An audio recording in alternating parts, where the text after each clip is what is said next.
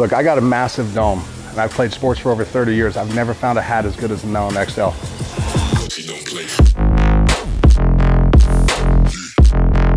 Every other hat I've owned, it's trashed within two or three workouts. It fades, it gets all crusty, it stinks. Melin XL goes with me anywhere. I train with it, I wash it out, I take it out to dinner, it's fresh. I love this hat.